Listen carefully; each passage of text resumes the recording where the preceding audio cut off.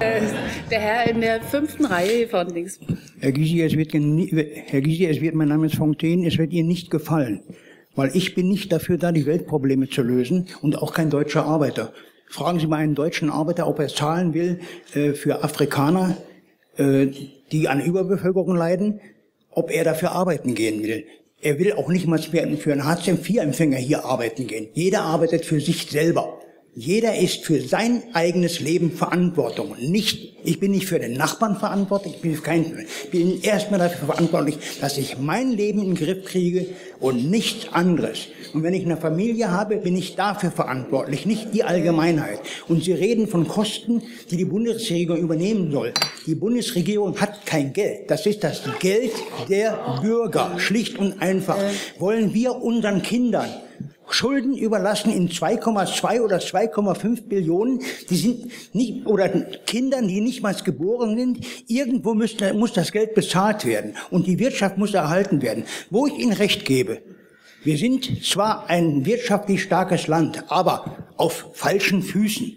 Ich stehe auf den Standpunkt, Industrie, die sollte dahin gehen, wo die Menschen sind. Wenn nämlich hier die, die Wirtschaft einbricht, dann haben wir die Probleme.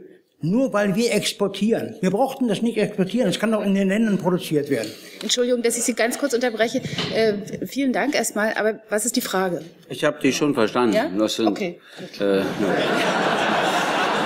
also ich vermute zumindest. Ich vermute zumindest. Ich glaube, dass Sie die Verantwortung zu eng sehen. Natürlich sind Sie für sich verantwortlich, natürlich sind Sie für Ihre Familie verantwortlich. Wenn Sie übrigens in Not geraten, brauchen Sie die Hilfe der anderen. Das Nein, erstmal meine eigene. Ja, Moment. Äh, Hartz IV zahlen Sie sich nicht selbst aus. Das wird von Steuermitteln bezahlt. Und viele alleinerziehende Frauen, die in Hartz IV geraten sind, tragen dafür nicht die geringste Schuld.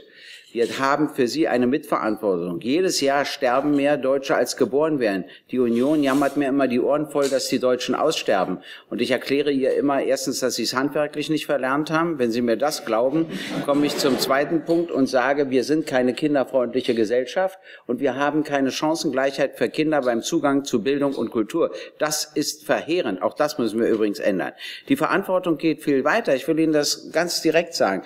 Wenn wir uns nicht verantwortlich fühlen, Schulen für die dritte Welt kommt sie zu uns. Wollen Sie die alle erschießen? Was wollen Sie denn machen, wenn Sie da sind? Verstehen Sie, wir haben gar keine Wahl. Die Menschheit rückt zusammen. Früher war es so, in Afrika wussten ja nicht, wie wir leben. Inzwischen haben die da auch Fernseher in den Dörfern die schauen sich das an und fragen sich, wie sie leben und wie wir leben. Wir kommen um die Fragen nicht herum. Ich habe das der Regierung schon vor Jahren gesagt. Und deshalb sage ich Ihnen, wir müssen etwas tun. Und jetzt sage ich Ihnen mal was zur sogenannten Entwicklungshilfe. Heute spricht man nur noch von Entwicklung, weil das Wort Hilfe nicht mehr dabei benutzt werden soll. Das ist ein so geringer An Anteil am Bundeshaushalt. Und wissen Sie, wie das läuft? Das läuft immer so, in welchem afrikanischen Land können wir welchen deutschen Firma einen Auftrag geben von unserem Geld mit Entwicklungshilfe. Es fließt wieder zu uns zurück zurück. Und ich sage, das müssen wir ändern. Die UNO hat mal beschlossen 0,7 Prozent des Bruttosozialprodukts. Und wenn wir dieses Geld nehmen und sagten, was brauchen wir, damit die Länder sich selbst entwickeln, nämlich damit sie dann auch die Verantwortung für sich übernehmen können, damit sie den Hunger meistern, damit es dort eine Chance gibt. Was machen wir? Soll ich Ihnen mal sagen? Wir sagen, wir brauchen Fachkräfte, weil es ja zu wenig Deutsche gibt. Die holen wir uns aus der dritten Welt. Ist das richtig, die Fachkräfte aus der dritten Welt mit Geld abzuziehen? Vielleicht brauchen die ihre Fachkräfte selbst. Verstehen Sie? Das ist nämlich das Problem. Also, nein, da habe ich eine andere Auffassung als Sie. Und wenn man zu spät Verantwortung übernimmt, wird es übrigens sehr viel teurer. Mir hat einer geschrieben, der arm war, wenn es weniger Flüchtlinge gäbe, hätte er mehr. Habe ich gesagt, so? Dann kennen Sie den Bundestag ganz anders als ich. Als wir weniger Flüchtlinge hatten, ging es Ihnen da besser? Da antwortete er mir, nein. Sage ich, so ist der Bundestag nicht. Der verteilt nicht, weil plötzlich weniger Arme da sind, das Geld an die übrig bleibenden Armen. So ist er gar nicht gestrickt. Dann hat mir einer geschrieben, ja, aber wenn wir die nicht hätten, dann würden wir ja mehr Geld für Bäder haben, für Schulen. Und sage ich, wirklich? Hatten wir, als wir weniger Flüchtlinge hatten, mehr Gelder für Bäder und für Schulen? Schrieb er, nein. Wissen Sie, was die Illusion ist? Sie schauen zur Seite. Das ist der falsche Blick. Wenn Sie was verändern wollen, wenn Sie mehr soziale Gerechtigkeit herstellen, wollen, müssen wir endlich nach oben schauen. Wir müssen das Verhältnis zwischen Reichtum und Armut in unserer Gesellschaft und in anderen Gesellschaften verändern.